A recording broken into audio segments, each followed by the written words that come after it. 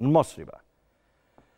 النهارده جماهير المصري استقبلت الكابتن ميمي عبد الرازق أفضل استقبال ممكن والراجل بكى قبل بداية المباراة بكى من استقبال جماهير المصري.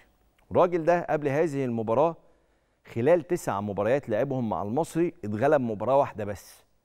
ووصل المصري إنه يبقى موجود في المركز الخامس في الدوري وصل المصري نهائي كأس الرابطة وصل المصري إنه موجود في دور الثمانية في كأس مصر عمل شغل محترم جدا. فأنا نصيحتي لو تقبلها جماهير المصري اللي أكيد دلوقتي حزينة ومحبطة جدا رفقا بالكابتن ميمي عبد الرازق وجهازه الفني رفقا بلاعبي المصري.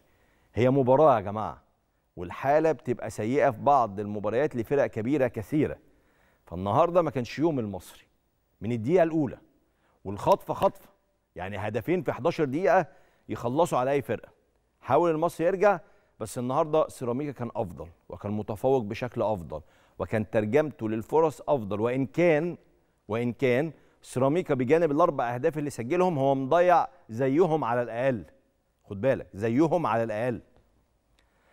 فيستحق سيراميكا كليوباترا الفوز. النهارده هارد لك للمصري يقدروا يبنوا على الشغل اللي حصل مع نهاية الموسم في الموسم الجديد وتشوفوا المصري بنسخة مختلفة تماما الموسم القادم نسخة أفضل كمان من النسخة اللي كانت موجودة الموسم الماضي.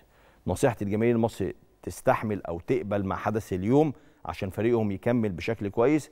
ونصيحتي أيضا لمجلس إدارة النادي المصري نصيحة من القلب ما تقعدش تلف حوالين نفسك على مدربين بقى مصريين أو أجانب وت وت وتمشي وتقعد والكلام ده كله. الراجل اللي شغال دلوقتي ده راجل مخلص راجل بيشتغل باجتهاد ومعاه جهاز فني محترم جدا. ده فيه جهاز فني فيه أحمد الكاس وطارق السيد. فيعني أسماء كبيرة في الجهاز الفني والبقايا طبعا بدون ما أنسى حد بس محترم. ما تكمل.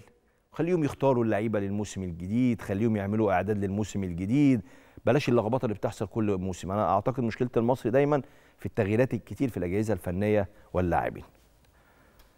هارد للمصري. ألف مليون مبروك للسيراميكا كليوباترا إدارة وجهاز فني ولاعبين استحقوا النهاردة الانبساط والفرحة